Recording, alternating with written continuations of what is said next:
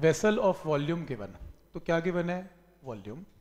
Contains ideal gas 300 kelvin temperature and pressure भी given है। Gas leak हो रही है, प्रेशर गिर गया। लास्ट टाइम ऐसा सेम क्वेश्चन किया था, जब लीक होती है नंबर ऑफ़ मोल्स निकल जाते हैं इसके वॉल्यूम रिमेन सेम कंटेनर का वॉल्यूम तो वही रहेगा। Calculate amount of gas in moles assuming temperature to be constant कोई इसमें कोई प्रेशर नहीं बोल रहा, कोई कुछ नहीं बोल रहा। इसमें सिंपल केमिस्ट्री लगेगी। P V equal to N R T number of moles पहले थे कितने? प्रेशर जब पी वन है तो number of moles N one है। वॉल्यूम लीक होने के बाद भी वी रहेगा। टेम्परेचर कहता है सेम रख लो तो टेम्परेचर भी सेम रहेगा। तो नंबर ऑफ़ मोल्स आ गए। फिर नंबर ऑफ़ मोल्स आ गए जब प्रेशर पी टू गिर गया। फिर आपने क्या करना है? डिफरेंस ऑफ़ मोल्स लेना है। इतने मोल्स जो डिफरेंस आया वो गैस लीक हो गई। तो गैस लीक इन दोनों को माइनस करके गैस लीक की वैल्यू आ गई। P1 P2 की वैल्यू पता है। वॉल्यूम और आर और टी पता है नंबर ऑफ़ मोल्स आ जाएँगे। क्लियर है यहाँ तक कि कैसे इस क्वेश्चन को करना है? इस क्वेश्चन को देखते हैं। If masses of all molecules of gas are halved किसको हाफ़ किया? एक मॉलिक्यूल का मास किससे रिप्रेजेंट करते हैं? छोटा एम मॉलिक्यूल मास नहीं किया गैस का मास भी नहीं किया। क्या किया? मॉलिक्यूल का मास छोटा एम तो कह रहे हैं कि प्रेशर का रेशियो क्या है? प्रेशर निकालने के दो ही तरीके हैं। या तो पी विजिकल टू एन लेकिन अगर आपको मास और मॉलिक्यूल की बात कर रहे हैं तो उसमें पी विजिकल टू एन नहीं आ सकता। तो उसके अंदर क्या आएगा? P is to one by three rho into V square V for V R M S ठीक है? तो ये टर्म आ गई। V for V R M S है। अब ध्यान से देखना। Density is mass by volume मैंने जानबूझ के यहाँ पर एम सिंबल नहीं लगाया। अगर मैं छोटा एम लगाता हूँ तो आप फटाफट कहेंगे मॉलिक्यूल का मास है, जो कि है नहीं। बड़ा एम लगाता हूँ मॉलिक्यूलर मास भी नहीं है। तो किसकी डेंसिटी है? गैस की डेंसिटी है। गैस की डेंसिटी का मतलब total mass of gas upon total volume तो समझ में आया? मैं जानबूझ के मास लिख रहा हूँ, क्योंकि गैस का मास है। चलो, इसकी ज़रूरत नहीं पड़ेगी। डेंसिटी को हम क्या लिख सकते हैं? एम इंटू एन मैंने करवाया था आज। Density M into M where छोटा M is mass of each molecule तो equation number one equation number two में क्या होगा? एम को गैस ऑफ़ ईच मॉलिक्यूल को हाफ़ कर दिया। तो एम की जगह M by two into N और वेलोसिटी को क्या कर दिया? डबल कर दिया।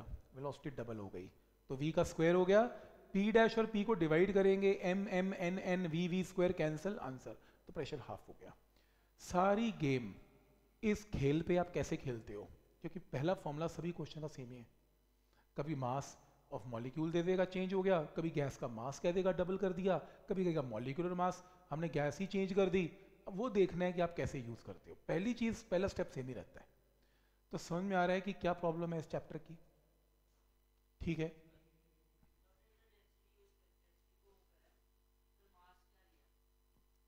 ये अगर तो लिखना है ये फॉर्मूला तो total mass of a gas है। और अगर total mass of a gas है क्योंकि मैंने कहा था मास का मतलब टोटल गैस का मास है। इसको मैंने लिख लिया, मास ऑफ़ गैस को। एक मॉलिक्यूल का mass into number of molecules ये स्टेप क्लियर है? डिवाइडेड बाय क्या चल रहा है? वॉल्यूम अब नंबर ऑफ़ मॉलिक्यूल्स पर यूनिट वॉल्यूम क्या होते हैं? स्मॉल एन तो ये मैंने ऐसे लिख लिया। एम इंटू छोटा एन ठीक? और आपको तो याद ही करवा दिया। रो का मतलब एम इंटू एन काफ़ी बार यूज़ हो गया अब तो। तो एक्चुअल में ये यूज़ किया, ऐसे यूज़ किया तो क्या ये पॉइंट क्लियर है यहाँ तक? कोई डाउट इसमें। ठीक है? तो नेक्स्ट क्वेश्चन ये रहा।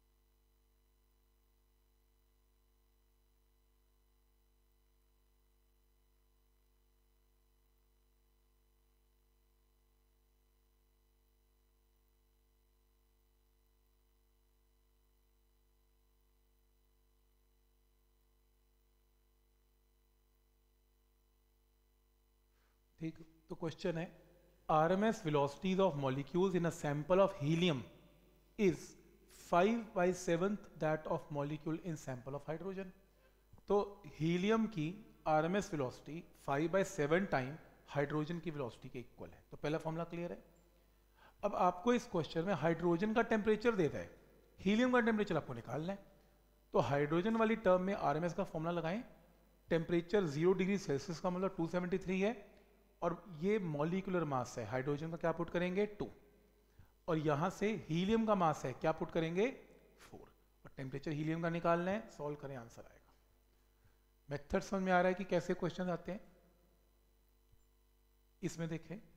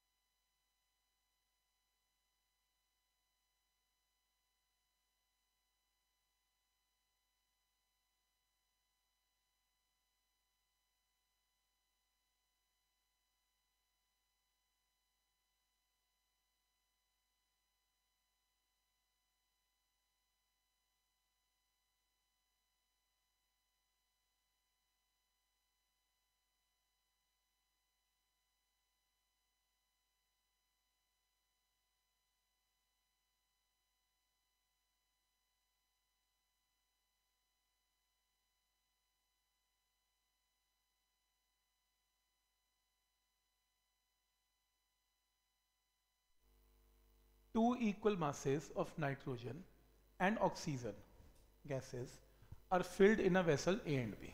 तो दो टाइप के गैसेस हैं। Volume of B is double that of A तो बी का वॉल्यूम ए से डबल है। वॉल्यूम का तो रेशियो दे ही रहे इसका मतलब। प्रेशर रेशियो बतानी है क्या है? अब यानी कि जो मुझे प्रेशर पता है, वो ये फॉर्मूला पता है। अब इसके अंदर मुझे वॉल्यूम तो कहीं दिखाई दे नहीं रहा। दिख रहा है, क्योंकि डेंसिटी का मतलब मास बाय वॉल्यूम, लेकिन किसका मास? गैस का मास। और किसका वॉल्यूम? गैस का वॉल्यूम। और मुझे इसके अंदर साथ में एक और चीज़ देखनी है, कैपिटल एम क्योंकि दो डिफरेंट गैसेस हैं। और जो वेलोसिटी आरएमएस होती है, वो मॉलिकुलर मास पे डिपेंडेंट है। तो मॉलिकुलर मास लाने के लिए फॉर्मूला पुट कर दें आरएमएस का। स्क्वायर करें इसे। तो इसका मतलब जो प्रेशर है, वो वॉल्यूम पे डिपेंडेंट है, क्योंकि उसने साफ़ साफ़ कहा two equal masses equal masses का मतलब गैस का मास दोनों में एग्जैक्टली exactly सेम है। गैस का मास सेम है। वॉल्यूम चेंज हो रहा है तो P inversely proportional to volume and inversely proportional to capital M temperature दोनों का एग्जैक्टली exactly सेम है। तो रेशियो आ गई, कौन किस पे डिपेंडेंट है क्लियर है? तो मैं आपको ये समझा रहा था, पहला स्टेप तो यार वही है। अब आगे आप नेक्स्ट स्टेप क्या लेंगे, वो मास पे डिपेंडेंट होगा कि किसका मास और किसका वॉल्यूम है। क्या आपको आंसर वॉल्यूम की फॉर्म में निकालना है? मास ऑफ़ गैस की फॉर्म में निकालना है एक मॉलिक्यूल के मास की फॉर्म में निकालना है तो ये अरेंजमेंट आपको सीखना है इसमें। तो इसके अंदर ये टर्म आ गई। दो गैसेज हैं ए गैस है और बी गैस है हाइड्रोजन हीलियम जो भी गैसेज हैं तो नाइट्रोजन जो भी है नाइट्रोजन ऑक्सीजन गैसेज हैं तो प्रेशर ए और बी का ही आ जाएगा। अब पहली जो, पहली गैस है, वो है नाइट्रोजन तो नाइट्रोजन नाइट्रोजन पुट कर दिया। ऊपर वाली गैस क्या? ऑक्सीजन ऑक्सीजन ऑक्सीजन पुट कर दिया। ऑक्सीजन का मॉलिकुलर मास 32 है, नाइट्रोजन का 28 है, इनकी रेशियो डबल गिवन है तो रेशियो ऑफ़ प्रेशर आ जाएगी। मेथड समझ में आ रहा है कि क्या ट्रिक है इस पूरे इसमें? और आना है ये पेपर में कंपटीशन में, पक्का ये chapter next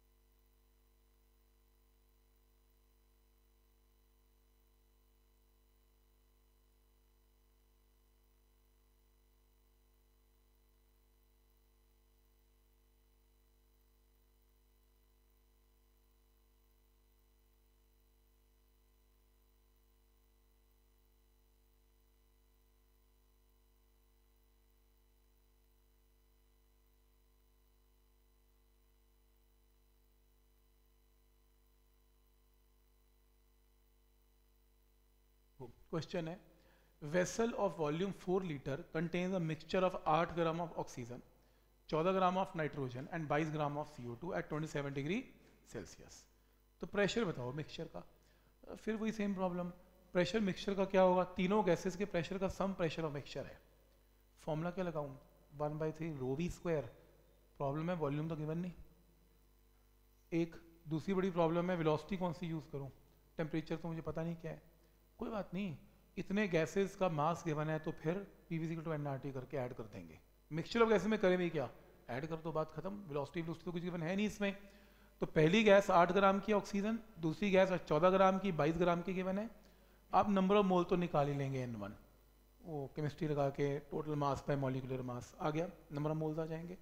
P V to N से पहली गैस का प्रेशर आ गया। दूसरी का आ गया, तीसरी का आ गया। टेम्परेचर गैसेस के सेम है वॉल्यूम गैसेस का सेम है, सिर्फ़ नंबर ऑफ़ मोल्स डिफरेंट है। टोटल प्रेशर क्या होगा? इन तीनों का सम होगा। नंबर ऑफ़ मोल निकाल लेंगे। आर पता है वी पता है टी पता है, यहाँ से आंसर आएगा। तो यानी कि कोई भी फॉर्मूला लग सकता है PV equal to N R T या equal to one by three rho V square वो आपको देखना है कि कैसे लगाना है प्रैक्टिस से आएगा। ये अभी नहीं होगा आपसे, ये क्वेश्चन करना है।